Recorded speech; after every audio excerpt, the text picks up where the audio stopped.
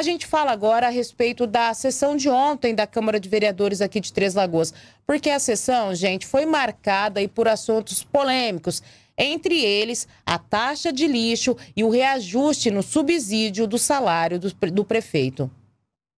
Entre indicações, requerimentos e projetos em tramitação, vereadores usaram a tribuna da Câmara na sessão desta terça-feira para debater assuntos polêmicos, como a taxa de lixo que foi suspensa por 90 dias. O vereador Adriano César Rodrigues, o sargento Rodrigues, usou a tribuna para falar do assunto. Está suspenso a maldita cobrança da taxa de lixo da, da forma que foi por 90 dias e estamos trabalhando muito, muito todos os vereadores dessa casa, os vereadores da base do prefeito Anjo Guerreiro, para que conseguimos uma forma de subsidiar esse lixo e que essa cobrança não volte mais, vereador Silverado, que esse seria o melhor, a melhor notícia que nós podemos dar para a população daqui 90 dias. Então pode confiar no trabalho do nosso nossos vereadores aqui desta casa, pode confiar no prefeito Anjo Guerreiro, porque a gente está procurando a melhor saída, mas de imediato já foi suspenso, publicou hoje essa cobrança por 90 dias e vamos trabalhar. Porque nós também, da forma que aconteceu essas cobranças, pessoal, também ninguém aceita. Ninguém aceita, eu também pago imposto e a gente sabe que da forma que foi na conta de água, é, houve algum equívoco, algum estudo técnico errado e temos que corrigir. O vereador Jorge Aparecido de Queiroz, o Jorginho do Gás, do PSTB, do mesmo partido do prefeito e que faz parte da base de apoio, também usou a tribuna para falar sobre a cobrança da taxa de lixo. Ou continua como está, não cobrar. Porque se tivesse feito a forma correta, e eu volto a dizer, nós aqui, vereadores, estamos sendo massacrados sem ter culpa. E vou dizer o porquê.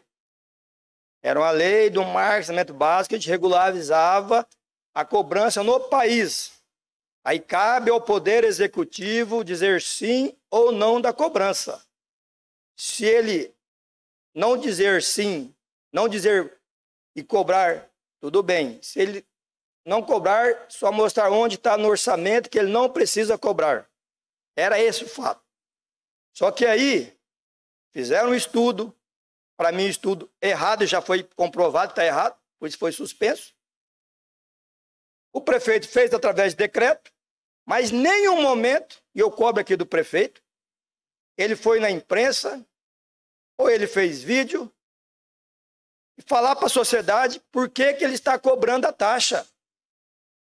Ou por que, que ele não ia cobrar. Se ele cobrou, por quê? Porque ele é o executivo.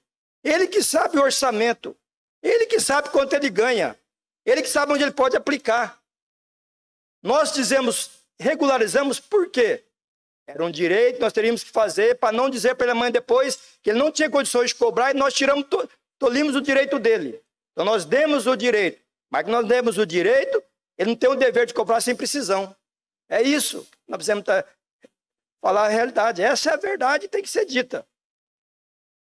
Agora, ele, como executivo, eu cobro dele sim, como sou parceiro, eu tenho o direito de cobrar. E eu falo nessa tribuna, senhor presidente, porque se você fala nos cantos desta casa, chega diferenciado para ele, porque tem umas pessoas que querem se crescer nas custas dos outros, falar o que você não falou.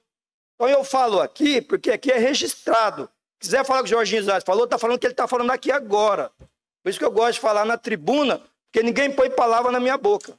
A decisão liminar da Justiça, que também suspendeu o aumento do subsídio do prefeito e, consequentemente, não permite que médicos, assim como outros servidores, também recebam um salário maior do que o chefe do executivo, também foi alvo de debate. O líder do prefeito na Câmara, Antônio Empique Júnior, o Tonhão, falou sobre o assunto. Quando algum vereador, seja de oposição ou independente, afirma aqui na tribuna que nós votamos de maneira obrigada, né? O vereador é obrigado a votar. Ninguém aqui é obrigado de nada, não. Cada um aqui é senhor do seu nariz, dono de sua vida e responsável pelos seus atos. Imagina que eu, enquanto líder do prefeito ou o próprio prefeito, tenho o poder de obrigar vereador A, B, C, D a votar. Vota por convicção. Você está na base porque acredita. Existe o ônus e o bônus.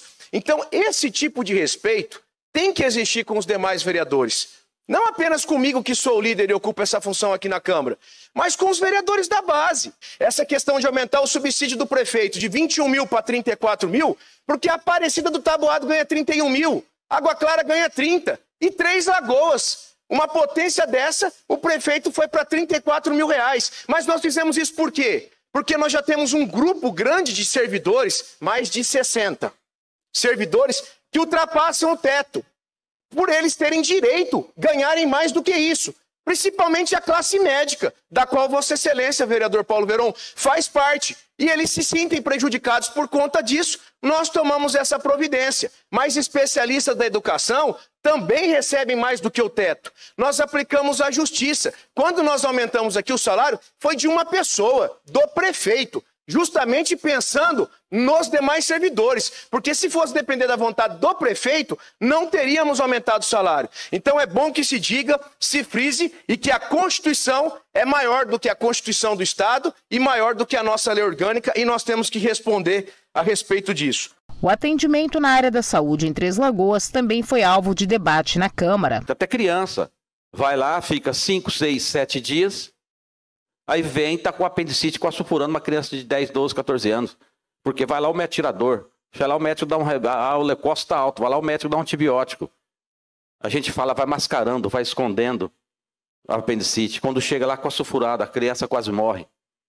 Então eu não sei qual que é o problema que está acontecendo, porque o médico é formado, o médico capacitado, ele é dono do paciente.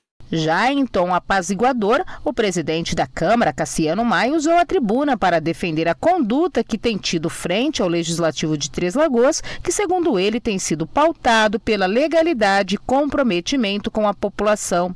Cassiano falou ainda da preocupação com a reforma tributária, que pode impactar negativamente nas receitas de municípios como Três Lagoas e estados como Mato Grosso do Sul. E agradecer a Deus por estar me dando esse momento de sabedoria de entendimento, de calma, para poder conduzir da melhor forma possível toda essa nossa casa, para que a população se sinta segura e que nós consigamos auxiliar, agilizar, fiscalizar toda a gestão do nosso prefeito Ângelo Guerreiro, que eu tenho certeza que vem fazendo um excelente trabalho. Muito obrigado. Entre os projetos em tramitação na sessão desta terça-feira da Câmara de Vereadores estão dois que autorizam o Executivo a ceder áreas para posterior doação a empresas que pretendem instalar indústrias no Distrito Industrial. Um dos projetos autoriza o Poder Executivo a ceder área Fibra Solution, empresa voltada à fabricação de mantas úmidas com rejeitos de celulose. Serão investidos mais de 2 milhões de reais e criados 20 empregos diretos. Os vereadores também iniciaram a tramitação do projeto de lei que autoriza o Poder Executivo ceder em comodato para posterior doação área à empresa Boreste Indústria e Comércio. A empresa já está instalada em Três Lagoas por meio de um contrato de locação da área pública há três anos.